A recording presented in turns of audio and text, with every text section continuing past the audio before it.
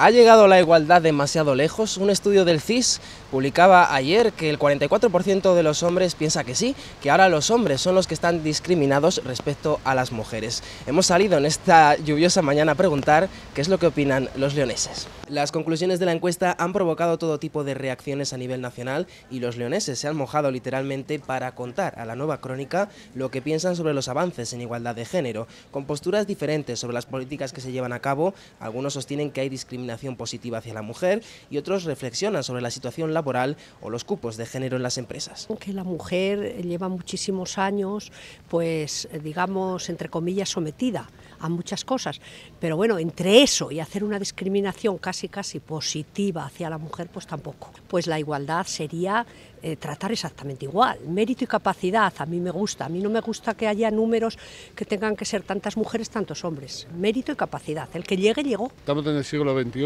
y, y está bien que la mujer tenga todos los derechos igual que el hombre. De la misma manera que el hombre tenga los derechos igual que la mujer, todos iguales y a, y a, vivir felices, que es lo que nos hace falta. Sigue habiendo desigualdad porque hay ciertos trabajos que, que a la mujer no le permiten. Porque el mismo trabajo una mujer tiene que ganar menos que un hombre. No lo veo normal. Si están haciendo el mismo trabajo, deberíais de ganar lo mismo hombres que mujeres. Que a veces para llegar a algo importante hay que perder un lado u otro luego ya vendrá el que lo igualará. La encuesta del CIS también refleja que una de cada tres mujeres opina que se ha llegado demasiado lejos con la defensa de la igualdad y entre los jóvenes el porcentaje de hombres que piensa que ahora ellos son los discriminados se dispara hasta el 52%. En esa línea se han mostrado algunos adolescentes leoneses reconociendo de una u otra forma que no existe la igualdad. Queda mucho por trabajar todavía y sobre todo ver que, que siempre desde el respeto y el amor sin intentar elevar más uno que otro porque a veces sí que se hace, porque ahora se les parece que se les ataca, ¿no?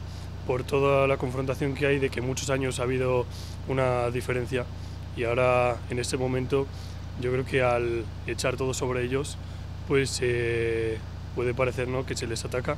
Los problemas que había antes, por así decirlo, de discriminación hacia las mujeres, yo creo que, a ver, han mejorado un poco, pero que siguen más o menos igual y no creo que haya cambiado tanto, no creo que haya dado tiempo suficiente como para que haya cambiado tanto y como para llegar a decir que ha superado, por así decirlo, a los hombres. O sea, no creo que el género sea lo más importante, sino la persona y las cosas que hace esa persona, no porque sea hombre o mujer. Yo creo que todos somos iguales y no hace falta discriminar a una mujer o por ser mujer o por ser hombre.